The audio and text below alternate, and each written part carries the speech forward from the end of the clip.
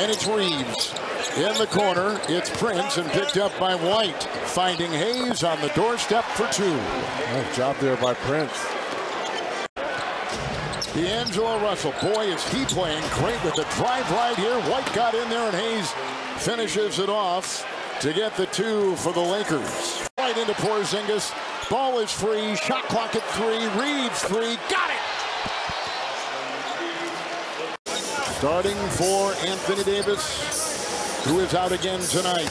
Into Hayes, around Tatum, and a nice dunk inside for the Laker backup guard, uh, backup center for Brown. They're going to need his offense, averaging almost 22, 23. Look at this pass. He's right wow. into Porzingis with a great feed from Russell. It's on top. He starts tonight for Davis. Reaves. Nice job, Hayes, Jaxson look Hayes. Hayes. Look at look Hayes. at this. Fight for the ball and put it back in. Got numbers if you want it. And they've got it. Russell. Hauser was back there trying to spoon feed Hayes. The result is 12 point tonight right inside. Reaves and Pritchard. Shot clock at two. Reaves has got a fire. Oh, he got it! He got it!